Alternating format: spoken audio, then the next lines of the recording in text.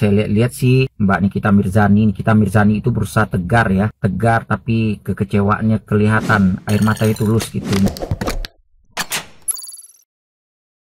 Hola netizen yang maha benar. Nikita Mirzani angkat bicara terkait ramainya pemberitaan tentang putrinya Laura Meizani alias Loli. Sebagai seorang ibu Nikita Mirzani membenarkan telah membatasi pergaulan putrinya tersebut. Nikita Mirzani mengaku tidak berniat membatasi pergaulan Loli. Namun putri sulungnya langsung menyalahgunakan kepercayaan sang ibu saat diberi kebebasan. Menurutnya Loli pernah pulang jam 1 malam setelah pergi nonton bersama teman-temannya ia mengatakan sangat khawatir saat tahu Loli belum juga pulang sampai tengah malam. Nikita Mirzani khawatir gadis 15 tahun terjerumus ke lembah pergaulan bebas ibu kota di usianya yang masih sangat muda. Alhasil Nikita Mirzani menerapkan aturan ketat dengan cara membatasi pergaulan Loli hingga kini. Gue nggak, gue nangis, gue nggak tidur tiga hari. Gitu. Mikirin kakak? Iya, iyalah mikirin anak gue lah, gila anak sembil gue itu lahir normal itu loli hmm. jadi kalau gue inget-inget tuh um, sakitnya tuh berasa gitu sampai sekarang karena lahiran normal tuh nggak SS ya kalau sesar itu kan lo tinggal disuntik masuk ruang operasi gitu. loli itu gue lahirin tuh secara normal gitu. jadi setiap pembukaan satu dua tiga empat lima gitu tuh rasa sakit itu luar biasa gitu. Dan alhamdulillah waktu lahiran Loli gue masih didampingin sama mantan suami. Gak kayak yang kedua ketiga ini. Jadi kalau dibilang sempet nangis nangis. Uh, sampai sekarang pun kalau gue mikirin itu gue kayak apa ya apa ya kekurangan gue gitu. Apa ya dosa gue gitu? Kok anakku gitu ya gitu. Tapi ya itulah namanya hidup ya. Kan nggak pernah tahu depannya kayak gimana. Tapi gimana pun anak gue ya dia tetap anak gue gitu. Suatu saat dia pasti akan cari gue gitu. Karena sebetulnya itu anak tahu seberapa sayangnya dan care-nya. Mungkin karena dikekang jadi berontak gitu kan. Gue nggak gue nggak tahu gue cuma pengen menjaga apa yang masih bisa gue jaga gitu. Jangan sampai ya gue nggak mau anak gue kelak nanti ketika punya suami dapat kelakuan hal yang sama seperti ibunya. Gue nggak mau kayak gitu. Makanya setiap dia pacaran atau dia punya pacar gitu gue tuh selalu pengen sini mana pacarnya? Um, mau pergi nonton gitu kan. Pernah sekali dibebasin. Pergi nonton. Oke okay. pulang jam satu. Gue sampai nggak tidur gue gemeter ih ke mana anak gue? Gitu kan. Nah dari situlah gue sudah tidak bisa me membebaskan anak gue yang perempuan. Gitu. Makanya yang dia bilang aku dikekang aku nggak boleh pergi pacaran aku nggak bisa main sama teman-teman aku ya memang betul memang betul itu Sebelumnya, Loli menjadi sorotan netizen yang tercinta setelah sang ibu berseteru dengan Antonio Dedola. Alih-alih membela Nikita Mirzani, Loli justru membela ayah tirinya tersebut dan membongkar aib sang ibu. Nah, gimana nih menurut netizen yang budiman? Silahkan berkomentar ya. Sebenarnya Loli itu nggak nggak minta apa-apa dari emaknya. Kalau aku lihat sih ya, uh, Loli itu kepingin emaknya berubah gitu loh guys. Ngerti nggak sih?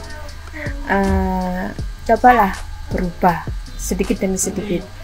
Jangan jadi uh, wanita yang huru hara, suka ngurusin orang lain, gitu loh maksudnya Loli itu. Udahlah, stop gitu loh jadilah diri sendiri. Mungkin Loli itu kayak gitu maunya gitu loh. Nggak masalah duit nggak masalah apa-apa sih kayaknya ya. Menurut aku sih gitu loh guys uh, Bunda paham dan mengerti perasaan bagaimana Niki sebagai seorang ibu yang sangat mengkhawatirkan putrinya gitu. Tapi perlu Niki sadari ya, coba introspeksi diri. Uh, gimana Niki selama ini sebagai orang tua. Jadi Niki jangan egois. Sekarang Loli kan sudah besar ya. Mungkin selama ini takut, takut, takut aja cacat, tapi jangan di diciptakan bahwa anak itu takut. Jadi segen dan menghargai orang tuanya gitu ya. Mungkin uh, selama ini nurut uh, tapi kan setelah uh, Loli semakin tumbuh besar terus menemukan sosok ayah di diri siapa namanya? Tony apa Tommy ya kalau salah mohon dikoreksi. Sehingga bisa membanding-bandingkan gimana sosok ayah sambungnya itu mungkin e, cara mendidiknya tuh penuh kelembutan. Jadi lebih bisa diterima anak seusia Loli. E, Niki jangan tanya apa dosa dan salahnya. Jadi tolong selama ini gimana? Kan Niki selalu jadi seleb yang kontroversial. Mungkin kalau Loli waktu kecil itu iya-iya aja. Sekarang ini Loli lagi protes. Apalagi sosok ayah sambungnya yang mungkin sudah menemukan figur seorang ayah di saat lagi berantem sama mamahnya, sama bundanya, Niki, si Lolinya lebih memihak ke ayah sambungnya bahkan dia cerita bahwa pernah Loli disuruh sama Niki itu menjelek-jelekan di medsos ayah sambungnya. Loli nggak mau kan? Nah Loli itu sekarang sudah besar Niki. Ya didoakan saja. Nggak usah sakit hati nggak usah gini. Jadi nanti gimana gimana juga itu kan putrinya Niki. Didoakan aja yang terbaik buat Loli. Semoga Loli bisa kembali ke ibunya. Dan Niki semoga sadar atas perbuatannya selama ini yang mungkin tidak berkenan di mata Loli oke? Okay?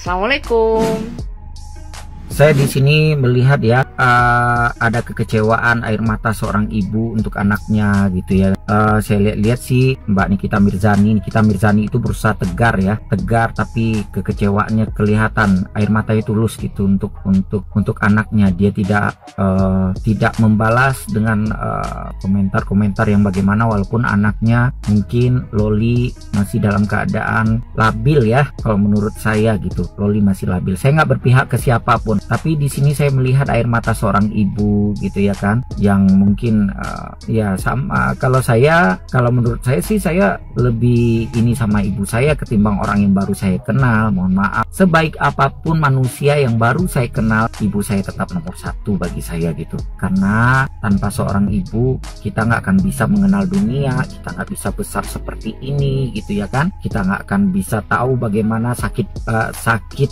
uh, susah senangnya dunia ini gitu. Jadi perjuangan ibu itu takkan terbalas dengan intan atau berlian sekalipun. Hanya ibu yang tulus mencintai kita. Jadi bagi saya Nikita Mirzani mungkin hidupnya memang keras tapi dia sayang kok sama anak-anaknya gitu. Sayang kok sama anak-anaknya. Dia berjuang untuk anaknya. Dia mungkin huru hara gitu ya kan berlinangan air mata berseteru dengan ini dengan itu demi uh, mungkin perjuangan hidup untuk menghidupi anak untuk menyekolahkan anak untuk membahagiakan anak yang pastinya dia seorang ibu tunggal berjuang untuk anaknya. Kalau saya, kalau saya secara pribadi, saya lebih memilih ibu saya ketimbang orang baru yang saya kenal. Terlepaslah mungkin ibu kita seperti apa, tapi harusnya kita tahu ya, ibu kita yang melahirkan kita, membesarkan kita, berjuang untuk makan kita supaya kita cukup, supaya kita supaya kita hidupnya bahagia. Ibu pun tidak peduli dia dia berjuangnya seperti apa gitu. Dia berjuangan di luar sana mungkin